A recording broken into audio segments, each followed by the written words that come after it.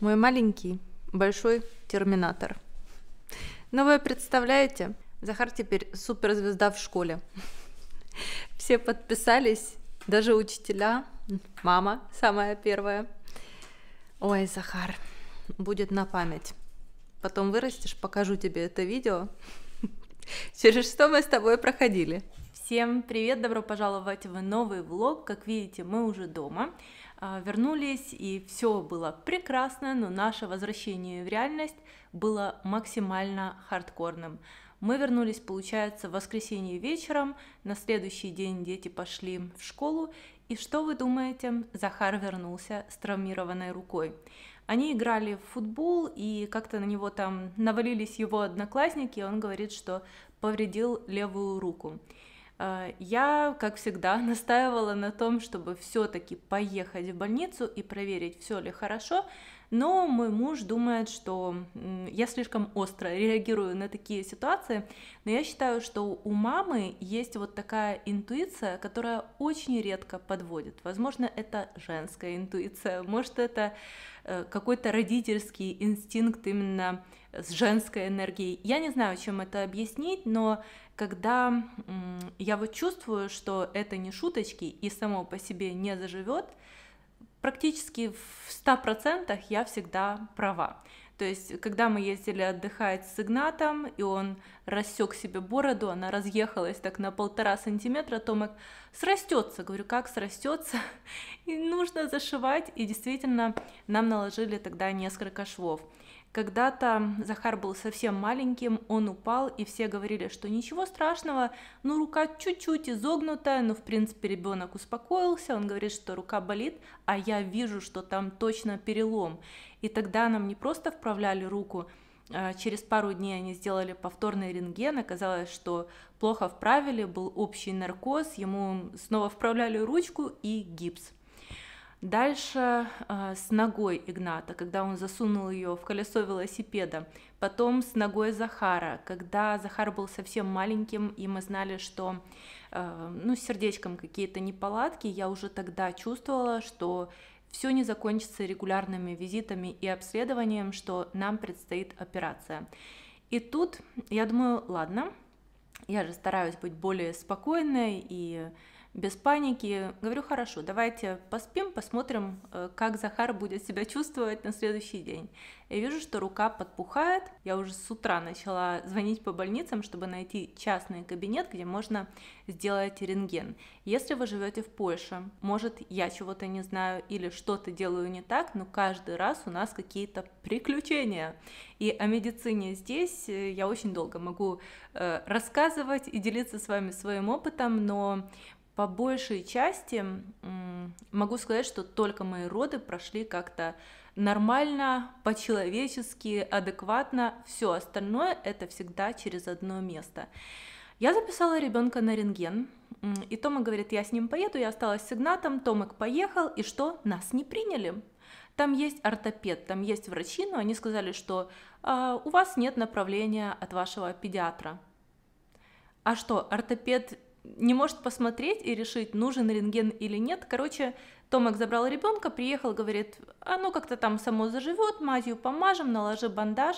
Но я-то чувствую, что э, ситуация требует более серьезного обследования и вмешательства, и я говорю, нет, мы едем на скорую, потому что только на скорой могут наложить рентген. И в большой больнице, не в частной какой-то мини-клинике, а в больнице. И даже в таких крупных э, медицинских заведениях, именно частных, не всегда предоставляют помощь детям. Я вижу, что на часах 6 часов вечера, значит, нам предстоит ночная смена на скорой. Но когда Захар сказал, что я хочу, чтобы папа со мной поехал, думаю, хорошо, в этот раз отделываешься ты. Конечно же, я тоже была права, они поехали и ждали 5 часов, потому что на скорой принимают пациентов по срочности, и у нас, конечно же, слава богу, не было угрозы жизни, поэтому они терпеливо ждали, потом врач пошел на операцию на 3 часа, ортопед именно, то есть Захара даже не осмотрели там в течение нескольких часов, не направили на рентген и, в принципе, сказали, на скорой, что вы можете ехать домой, вернуться через три часа, и только потом, возможно, вас примут. А, спустя пять с половиной часов а, возвращаются домой с гипсом. Мы только очухались от ноги. Очень долгая муторная реабилитация, вроде как все нормально, а, но теперь рука. И я думаю, ну ладно, гипс так гипс. Но когда я увидела, что гипс аж до самого плеча, я думаю, блин, когда это закончится? Но перелом не сложный, а, все должно зажить до свадьбы. А, и почему так, я не знаю. Возможно, дети активные, менее осторожные, и я не могу предъявлять ничего учителю физкультуры, как так произошло, потому что дети игрались. Это та ситуация, в которой, в принципе, каждый может оказаться, поэтому ходить, выяснять, скандалить нет смысла. Между прочим, я собирала все счета в прошлый раз, когда у Захара были проблемы с ногой, и мне вернули 0 злотых, 0 копеек, поэтому я уже в этот раз думаю, ладно, как будет, так будет, но нам в этот раз сделали все в государственной клинике, и теперь Захар на несколько недель в гипсе. Когда это зима, когда холодно, конечно, дико неудобно, потому что м, этот гипс сложно запихнуть в куртку. В общем, добро пожаловать домой. А у нас с вами сегодня будет такой, наверное, домашний влог, потому что я сегодня никуда не планирую э, ездить. Захар пошел в школу с гипсом, потому что для него крайне важно было переписать там какое-то сочинение. Он написал все в черновике, сегодня они переписывают. Он говорит, я себя нормально чувствую. В принципе, даже до того, как наложили гипс, было окей. Ну, болела рука, там никак не согнуть, не повернуть, не поднять, ничего. В общем, пошел в школу, и обычно, если ребенок плохо себя чувствует или что-то его там беспокоит, то со школы звонят и говорят, забирайте. Пока что никто не звонил, и дальше мальчики с папой едут к бабушке. Так что у меня сегодня такой домашний день. По-моему, мне пришел мой пылесос, который я заказывала.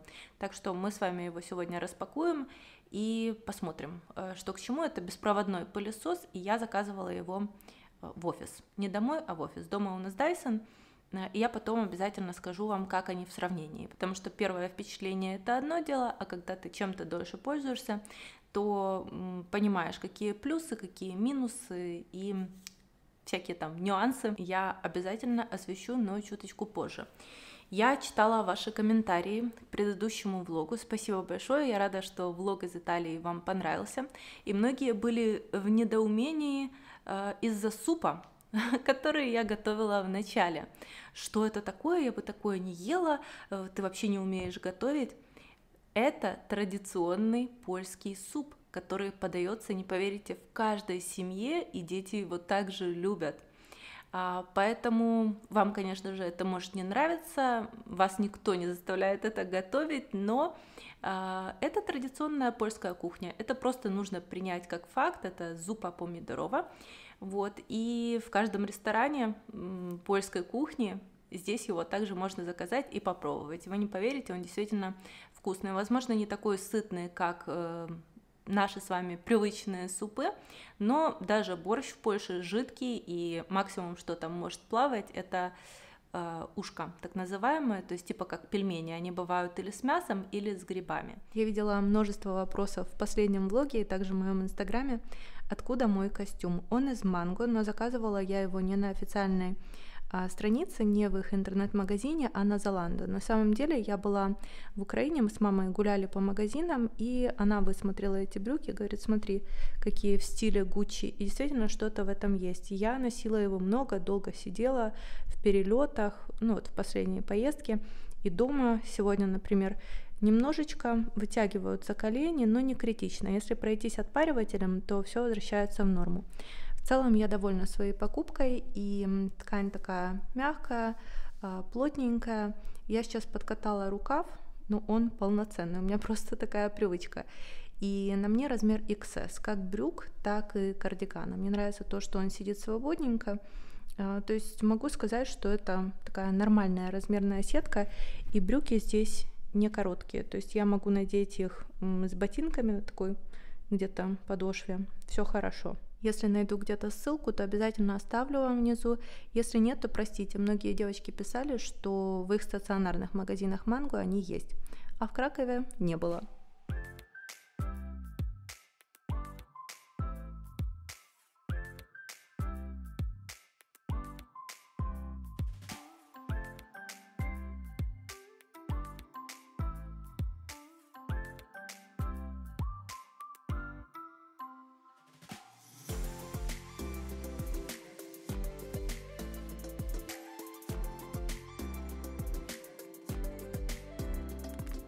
Я в недоумении. Как такое может быть? Вчера вечером Томик пылесосил еще.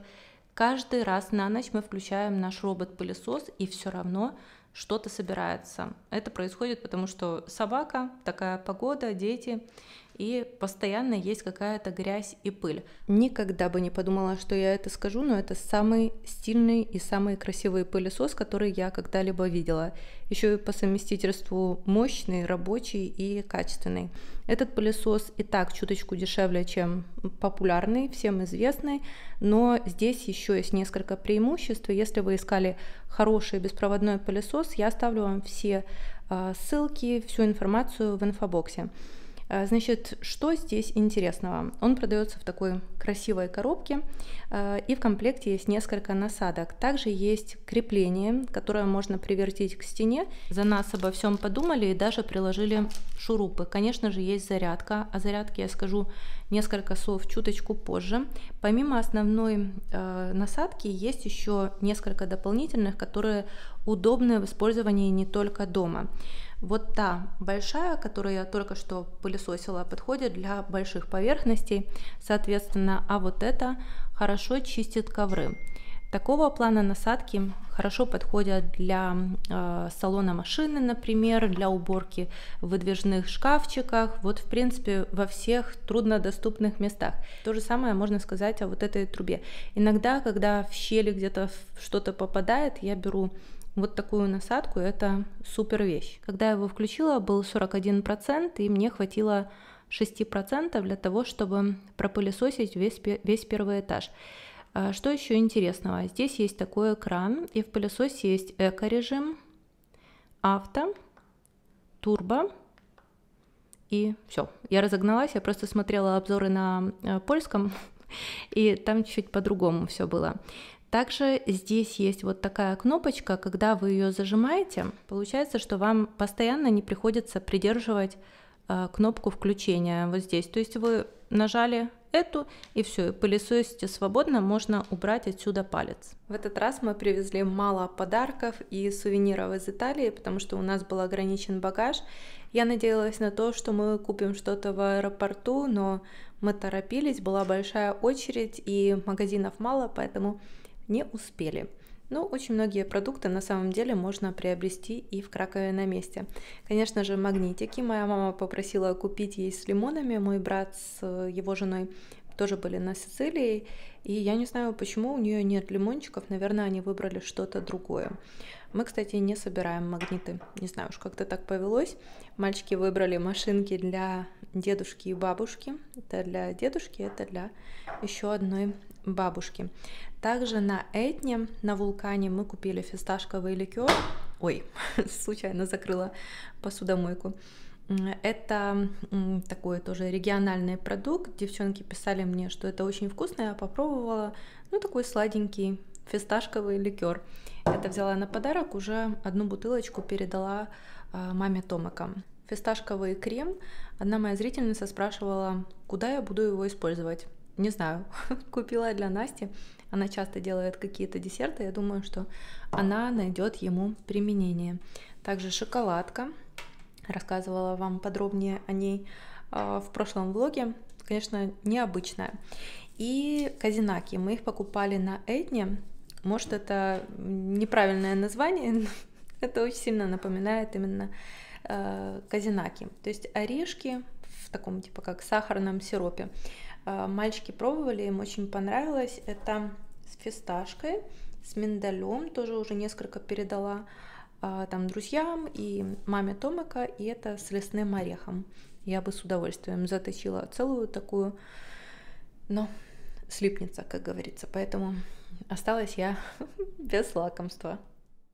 Этот вечер оказался для меня очень вдохновляющим даже несмотря на то, что особо вдохновения не было. Еще будучи в Италии, я как-то задумалась о том, что рождественские праздники, собственно говоря, уже на носу. Мы с семьей отмечаем католическое Рождество, наши дети католики, мой муж и вся его семья. И, к сожалению, в этом году моя семья из Украины не сможет к нам присоединиться, но тем не менее нас будет больше, чем обычно.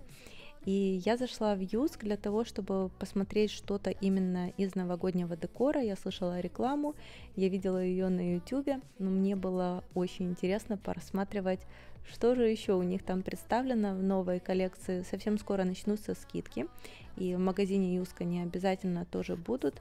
А мы, к сожалению, с ними не сотрудничаем, но я как клиент, как покупатель э, часто что-то там нахожу. Столько красивостей, столько разных деталей, и я хочу вам сказать, что я до сих пор, вот спустя 4 года, безгранично рада тому, что у нас такой универсальный интерьер, который позволяет вносить какие-то изменения, ну, хоть каждый месяц, потому что э, кремовый цвет или белый, каждый видит его по-разному, серым – это база. Ну, собственно, как и в гардеробе, это основа основ. Э, что касается новогодних каких-то декораций, то, возможно, в этом году в Юске их было не так много, как обычно, что-то повторялось. Но если вы ищете что-то новое, то я считаю, что здесь даже лучше ассортимент, чем, например, в Икее. А, как-то в последние годы там совсем все печально, грустно и совершенно ничего интересного. Здесь у меня все-таки глаза не разбежались, и я отхватила несколько очень интересных находок, поэтому обязательно останьтесь со мной, Э, мы все вместе с вами рассмотрим. Узнаете эти салфеточки? И я была права. Я заказывала их на Алиэкспресс, а в магазине они стоят, не поверите, в два раза дороже. Девочки, мне сегодня так не хочется готовить, прям совсем. Но есть хочется. И кормить народ тоже чем-то надо. В такие дни я реально не заморачиваюсь. Я курила, курила, я купила куриные ножки а, также я очень часто запекаю их в рукаве, тогда все хорошо, быстро пропекается и меньше уборки.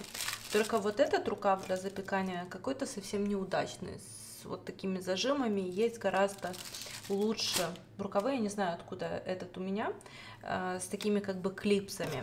И они уже есть сразу разрезанные. Ну ладно, что есть, то есть, нужно доиспользовать. Надеюсь, он скоро закончится. Беру любую приправу для курицы, эту купила в Лиле. А, только всегда читайте состав, чтобы здесь были именно только какие-то сушеные приправы, максимум соль. А, дело в том, что в подобных э, приправах и также в дешевых ресторанах часто используют приправы с э, усилителем вкуса. По-польски это глутаминян соду, но я думаю, что если вы изучите эту тему, то будете в курсе. И ты настолько быстро привыкаешь к этой химке, что потом, когда ты ешь обычную, здоровую, нормальную, вкусную еду, она для тебя как будто безвкусная.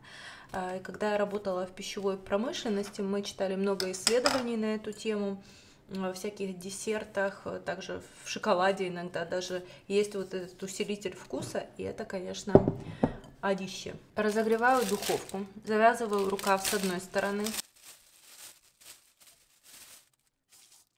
Сначала выкладываю половину куриных ножек, высыпаю половину упаковки приправы. Сюда же в рукав заливаю немного оливкового масла. Выкладываю остальную часть. Оставшаяся приправа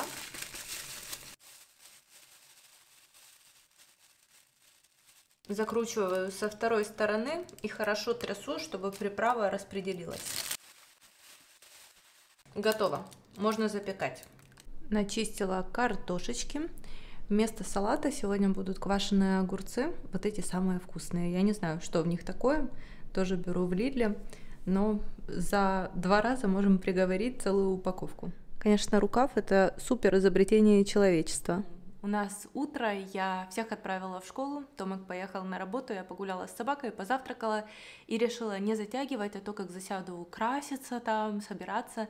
А, прям по горячим следам сейчас покажу вам свои первые покупки.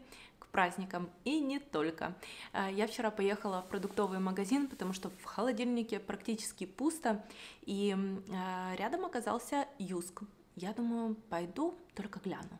И оказалось, что у них столько всего красивого, и я даже пожалела, что я не съездила туда раньше, потому что помимо именно новогоднего декора у них столько универсальных штучек для дома, и это недорогой магазин. У меня никогда не было ничего э, из мебели от них, но вот что касается декора, туда стоит заглянуть. Я знаю, что этот магазин много где есть, и на самом деле каждый раз, когда я туда захожу, что-то интересненькое да найду. И за последние годы я слегка подустала от красного цвета на праздники, поэтому планирую кое-что раздать, что-то я продам. Я всегда так делаю с теми вещами, которые мне где-то там а, поднадоели, что-то просто перестало быть для меня актуальным. В общем, я так свободно и легко расстаюсь э, с теми вещами, которые уже свое отслужили.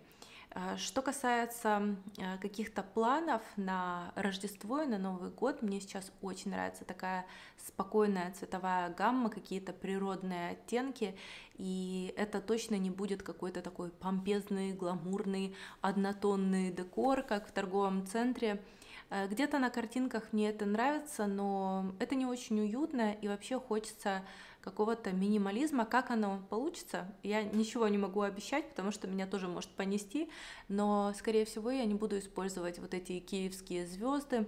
Где-то красный цвет все-таки будет присутствовать, потому что, как минимум, он есть на елочных игрушках, и без этого никак. Елку мы в основном наряжаем для детей, потому что это семейный праздник для нас, и мне нравится, а, когда они рассматривают все вот эти разные елочные игрушки, когда всплывают какие-то воспоминания.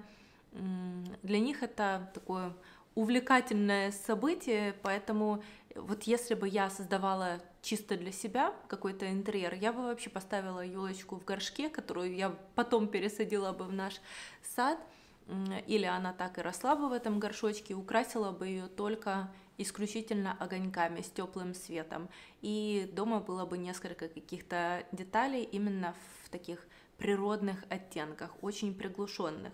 А, я думаю, что из моих покупок будет тоже это заметно. А, и давайте уже поскорее начнем. Мое первое приобретение – это скатерть в очень красивом приглушенном зеленом цвете.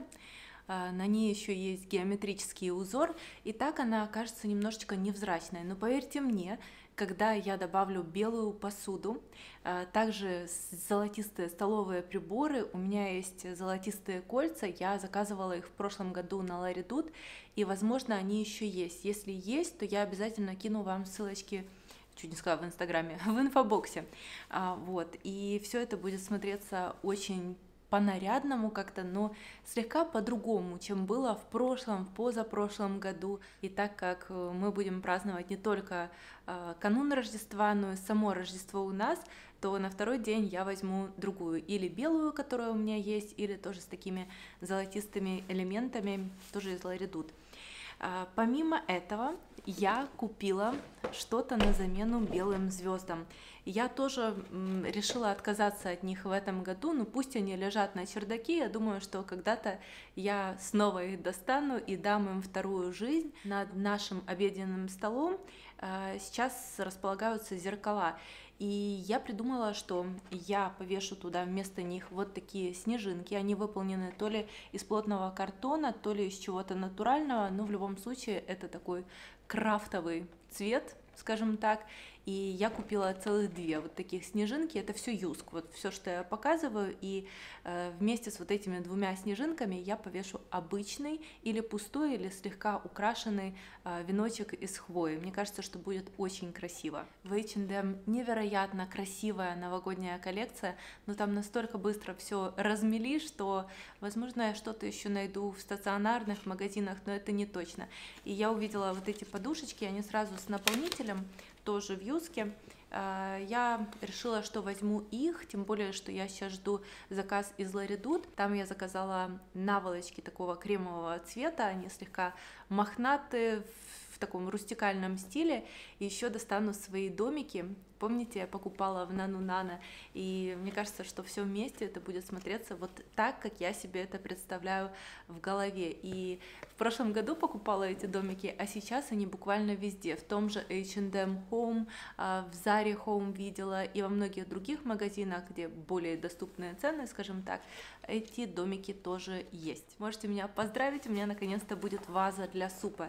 И вообще, э, совершая покупки в Лилле, это, ну, по большей части продуктовый магазин, а, я увидела, что у них есть очень красивые наборы посуды, и я уже даже сфоткала, отправила Томака сегодня, надеюсь, что он успеет купить два комплекта. Они были слишком тяжелыми, поэтому я не смогла их унести, утащить домой. Но вот вазу для супа я схватила. Это супница польского производства, это керамика, просто беленькая, вот такая немножко ажурная. И она могла бы быть побольше, но честно, я не видела других вариантов, и каждый раз одно и то же. Когда праздники, я бегаю с кастрюлями и говорю, господи, у всех вечная проблема, что мне подарить? Да подарите мне супницу, потому что я никогда не могу найти обычную белую супницу не с золотишком, не с серебром, вот что-то, что можно было бы помыть в посудомойке, чтобы это красиво выглядело. А, и да, сейчас напишу Томику, пусть возьмет вторую, потому что обычно э, в канун Рождества мы подаем два супа. Это польский журек и также борщ. Это, знаете, из серии э, не жди от кого-то каких-то действий, чтобы тебе кто-то купил, чтобы кто-то за тебя нашел, увидел, купил, победил. Мы украшаем дом и наряжаем елку ближе к самому празднику, то есть 20 числа декабря. Но ты смотришь, что уже сейчас многие достают свои елки, а, что-то там уже делают, и твоя душа тоже начинает хотеть праздника. Хотя я считаю, что это слегка рановато, но хотя бы в середине декабря.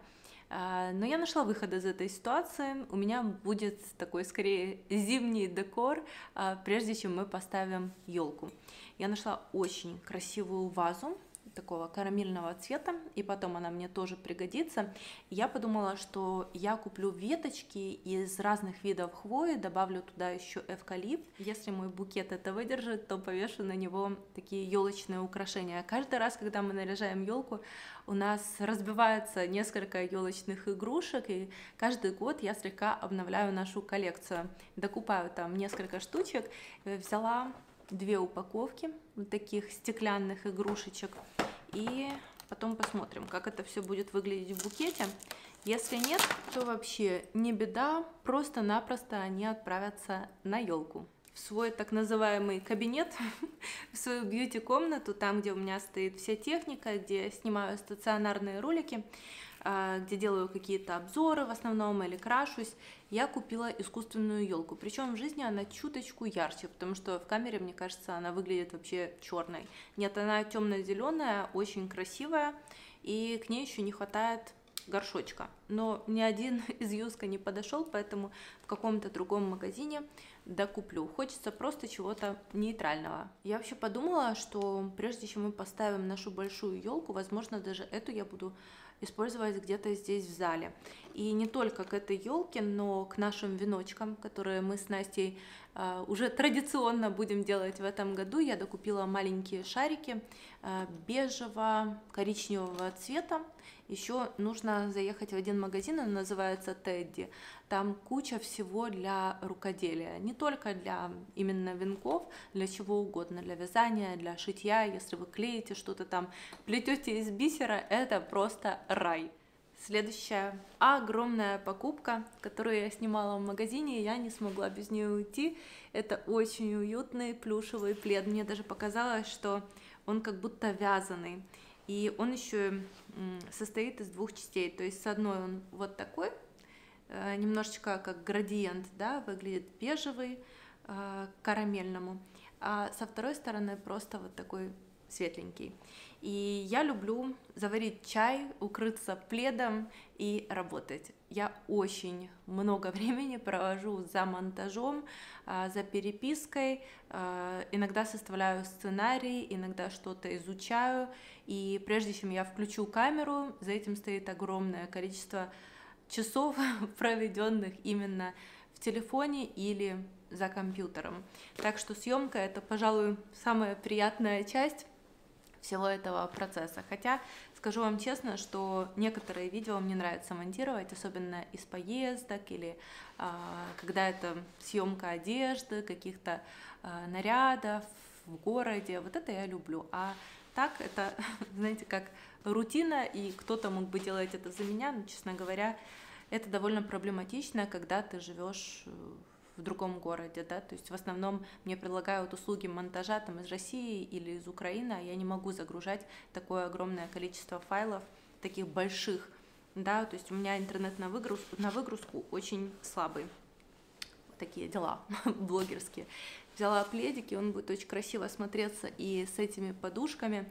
И еще, знаете, чтобы не было так грустно и уныло, я обязательно добавлю, а, например, что-то из золота, тогда появится такая нарядная нотка. Почему-то мне хочется чего-то совершенно другого в этом году. И еще знаете, что я во многих магазинах в этом году видела такие керамические домики, которые я покупала в Нану Нано в прошлом году. Сейчас они есть и в Zara Home, и H&M Home, и в каких-то других, я уверена, тоже их можно найти. Наверное, я их тоже достану и буду использовать в новогоднем декоре.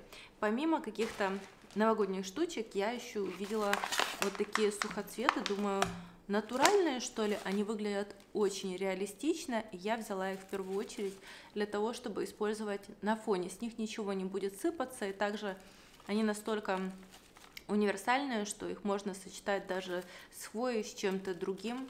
Прикольно, правда? И вот такой букетик хорошо смотрится в объемной вазе, тогда это как-то так легко, очень так непринужденно, что ли. Или же можно поставить в высокую вазочку. Широкая ваза не очень хорошо будет смотреться в кадре, а я планирую снимать с вот таким фоном, поэтому я взяла еще и вазочку вот такую тонкую и тоже не слишком высокую, чтобы она не торчала выше моей головы. Для того, чтобы букетик одиноко не стоял, конечно, он не будет выглядеть вот так, я как-то это все преображу, добавлю свечу. А, в Юске есть красивые стильные свечи. Мне нравится, когда это не просто вот тупо свеча, а чтобы она смотрелась как-то так очень стильно, что ли. И я выбираю или в H&M, или вот такие какие-то вьюски. Вы говорили, что они неплохо служат и не пахнет, кстати, что тоже хорошо иногда запах слишком навязчивый, они есть в разных цветах, и потом эти же баночки можно использовать для чего угодно, хоть для кисточек, они, ну, не обязательно вот такие, а бывают разными, хоть где-то там в кухне можно поставить, хорошо ее помыть, вот такая. Это все мои покупки из э, Юска. Обед практически готов. Я сегодня хочу чуть пораньше забрать Захара со школы и провести с ним вечер. Поэтому я так торопилась с утра все э, снять и не теряла времени на вот эту подготовку. У меня даже волосы влажные, жду, когда они окончательно высохнут. Поэтому I'm sorry, я сегодня такая на домашнем, как видите. Я надеюсь, что вам сегодня со мной было интересно. Не забывайте поставить пальчик вверх. Для меня это самая ценная обратная связь вместе с вашими комментариями. А, и я всегда все читаю, не поверите читаю все, все комментарии, которые есть под моими видео. Не всегда успеваю ответить, но тем не менее мне очень э, важно понимать, э, какая у вас реакция, э, что вы думаете по тому или иному поводу. И вообще очень как-то так тепло на душе становится, когда ты получаешь какую-то, вы знаете, потустороннюю, что ли, связь, потому что я общаюсь с камерой, но когда ты видишь, что кто-то потратил свое время и написал хоть там небольшую строчку тебе в ответ, и это как-то дает ощущение того, что там живые люди, что они тебя смотрят. И я вам скажу честно, что несмотря на огромную аудиторию, все равно нет вот этого э, четкого понимания и осознания, что, блин, это иногда даже сотни тысяч людей, которые смотрят тебя регулярно. Поэтому мне просто будет очень приятно, если вы как-то откликнетесь после просмотра этого видео. Всем уютного, классного настроения. Э, берегите себя, свое здоровье, руки, ноги не ломайте. И мне еще нужно сегодня записать ребенка на консультацию на будущее, потому что у нас с этим, как вы понимаете, непросто, но тем не менее это не повлияло на атмосферу в семье и на мое настроение. Все, всех целую, обнимаю. Пока-пока, до новых встреч уже совсем скоро.